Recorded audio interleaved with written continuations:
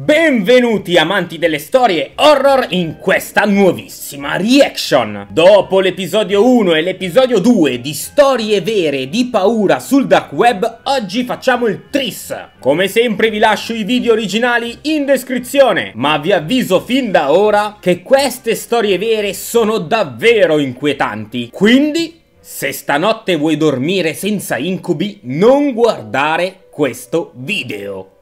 Quando andavo alle scuole superiori ero un patito del deep web. Ci andavo praticamente tutti i giorni. Prima della scuola, dopo la scuola, dopo l'allenamento di basket e prima di andare a letto. Ci andavo quasi sempre. Eh, però, amico mio, hai dei seri problemi se ci entri ogni minuto della giornata. Chattavo sempre con questo tizio perché mi sembrava molto simpatico. Mi mandava sempre dei link a video divertenti. Ma dopo tre mesi tutto cambiò. Mi mandava sempre link di strani video e di strane live live. E tu ovviamente ci clicchi?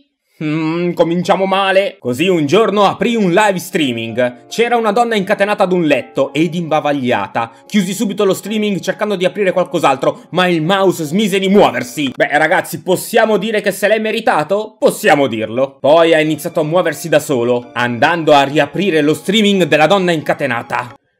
Un cursore un po' poltergeist, ma facciamo finta di niente. Quando il video si riaprì, la donna era ancora lì. Un uomo con un sacco sulla testa apparve sullo schermo. Ma stiamo scherzando o che cosa, ragazzi? Mi sto cominciando ad andare in defibrillazione. Il sacco aveva un buco dal quale usciva un solo occhio. Poi ha mostrato un tavolo con sopra una sega, una pistola, delle forbici ed un rasoio. L'uomo si è poi girato e ha detto alle telecamere, sceglietene uno.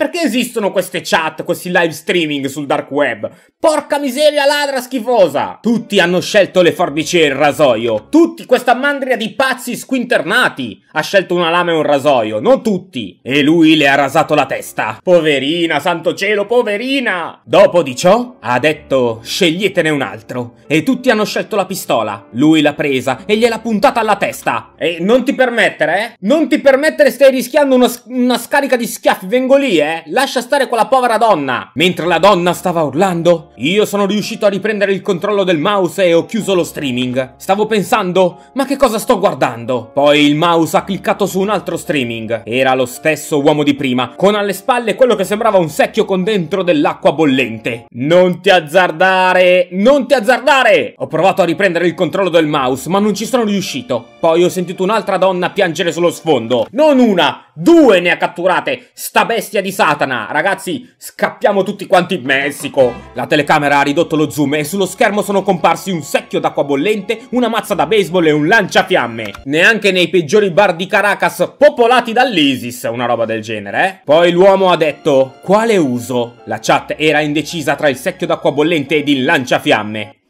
Così l'uomo ha detto, li userò entrambi. Oh, ma usa tutte e tre, anche la mazza da baseball. Picchia la donna, buttala nel secchio e dagli fuoco, dai. Ha spinto la ragazza in lacrime in avanti, per poi puntare il lanciafiamme verso il secchio e aprire il fuoco. Mannaggia, tutti, tutti gli dei dell'Olimpo, tutti gli dei dell'Olimpo. Poi ha incatenato la ragazza alla sedia a rotelle. Ora l'acqua del secchio era rovente. Non voglio guardare!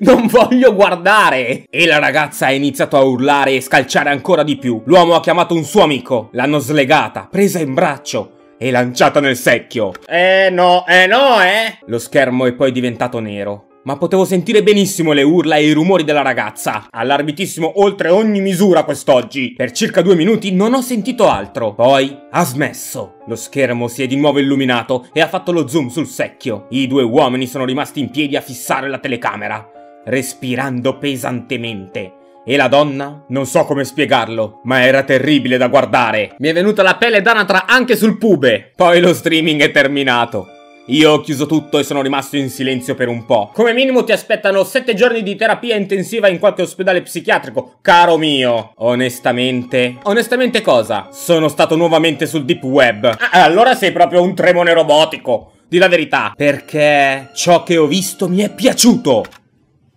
Watch out, watch out, watch out, watch out! Voglio che tutti quanti chiamiamo la polizia e gli diciamo che c'è un pazzo squinternato in giro per il mondo. Ci sono molte persone come me là fuori, più di quante pensate. Maronne santissima! Fate sempre molta attenzione quando andate sul deep web. Ai, la miseria, è apparso dietro la schiena. Cosa significa? Che le vittime sono quelle che in realtà guardano i video? Bello, bello, bello. Sono inquietato al punto giusto. E adesso via con la seconda. Ma... Mm, non so perché io lo abbia fatto, penso che sia avvenuto per la troppa curiosità. Tutto iniziò qualche anno fa, mentre guardavo un video di YouTube sul mio computer. Niente di impegnativo, solo qualche storia vera sul deep web. Come la nostra? Ma no.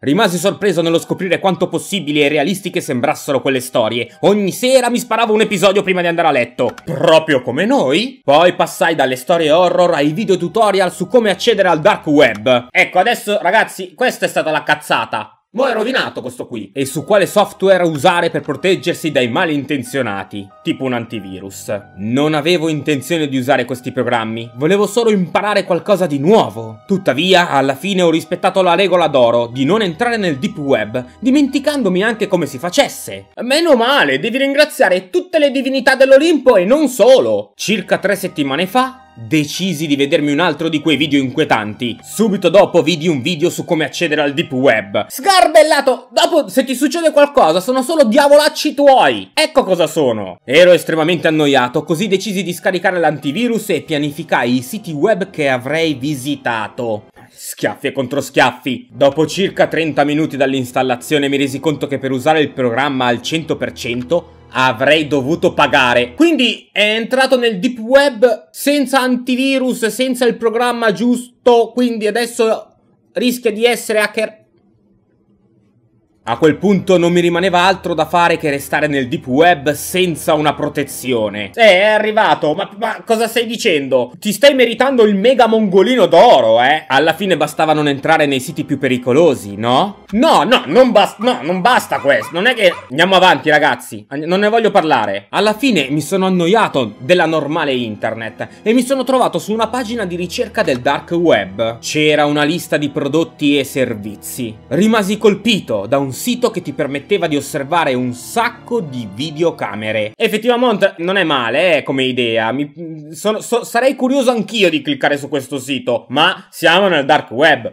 Probabilmente le telecamere erano hackerate e sparse in tutto il mondo. Maronne santissima, mo lo hackerano anche a lui. Sicuramente, sicuramente. Che spettacolo, pensai.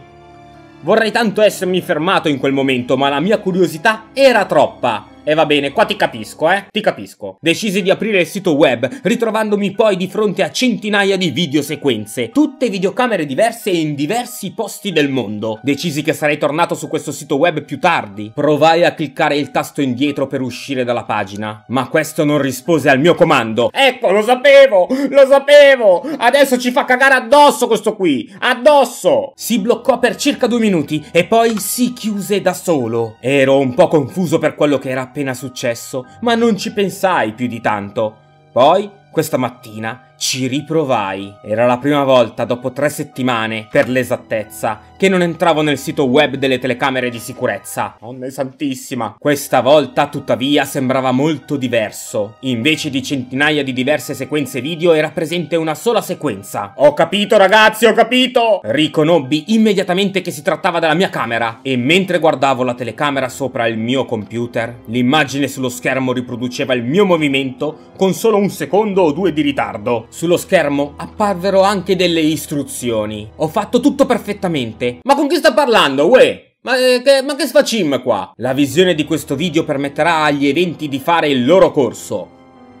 È ubriaco? Mi dispiace, tu non hai fatto nulla di male. Ma tutto questo è ingiusto. Una persona come me sa che le altre persone sono curiose mi piace come sei vestito, si abbina al colore dei tuoi capelli. Eh sì ragazzi, probabilmente sta parlando con noi che stiamo guardando questo video, quindi ci sta condannando a una vita di sofferenza, mi state dicendo questo? Potresti essere confuso, non ti preoccupare, ti contatteranno presto. Cosa? Mi contatteranno presto?